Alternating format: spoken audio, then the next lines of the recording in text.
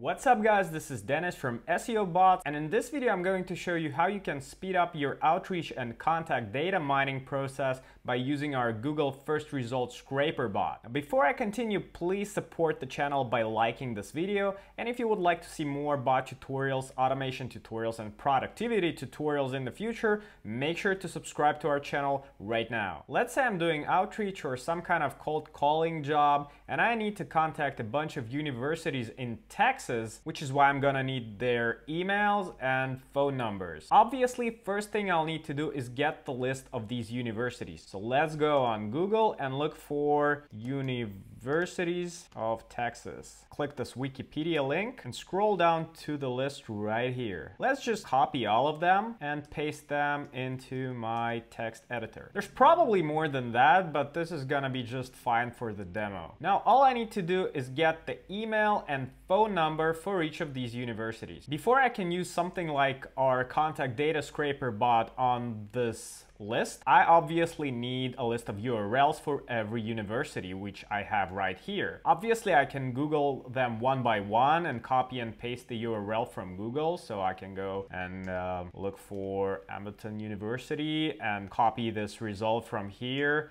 into my table, or I can do it in bulk. So let's head back to SEO bots, click the tools for Google search, and let's look for uh, Google First Result Scraper. To use the bot, you'll have to sign up and click the Start Bot button. You can give your job a name. I'm going to skip the step.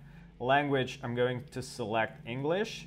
Region, I'm gonna go for Texas. I'm gonna keep the desktop as the main device. And now I'm going to paste all of my queries right here. I want it to start immediately and I don't need any notifications. Let's go ahead and click the Start This Bot button. And as you can see, the job was created and is now active. You don't have to wait for the job to complete to close your browser. You can shut down your computer and uh, you'll get a notification when the job is done. While we're waiting, don't forget to like this video to support our channel and subscribe to it. I fast forwarded the video, but you can see that it took the bot about 10 minutes to complete the job. And now we can click the view data button to see the results. All right, looks like we have a list of our URLs. We can now select these URLs and paste them into our contact data scraper bot to get our emails and phone numbers. Well, this is practically it. Make sure to like this video to support the channel channel. Don't forget to subscribe and I'll see you in the next video.